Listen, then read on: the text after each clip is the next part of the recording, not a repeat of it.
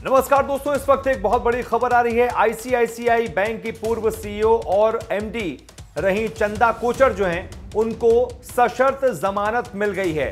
जमानत उनको किस मामले में मिली है वो मैं आपको बताता हूँ। दरअसल उन पर आरोप है कि उन्होंने वीडियोकॉन इलेक्ट्रॉनिक्स लिमिटेड को कर्ज देने के बदले जो है वो घूस ली है और उनके पति को ये घूस मिली थी। 2009 का ये पूरा मामला है और खबर यही थी कि उन्होंने उनकी समिति की अध्यक्ष थी वो, जिस समिति ने वीडियोकॉन इंटरनेशनल इलेक्ट्रॉनिक्स लिमिटेड को 300 करोड़ रुपए की कर्ज की मंजूरी दे दी थी। और उसके बाद बदले में क्या लिया था? बदले में अगले ही दिन 8 सितंबर 2009 को लगभग चौसठ करोड़ रुपए एनआरपीएल को हस्तांतरित किए थे वीडियोकॉन ने, और एनआरपीएल के जो मालिक हैं, वो हैं दीपक कोचर, चंदा कोचर के पति। तो सबकी मिली भगत इसमें सामने आई थी, और इस पर आरोप लगा था चंदा कोचर पर।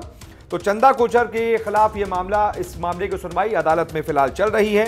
पीएमएलए कोर्ट में फ़िलहाल सुनवाई चल रही है और इसी दौरान खबर आई है कि उनको सशर्त जमानत मिल गई है। पाँच लाख रुपए के बॉन्ड और साथ ही साथ बिना अनुमति विदेश यात्रा न करने की ये दो शर्तें हैं जिनके साथ चंदा कोचर को जमानत मिली है।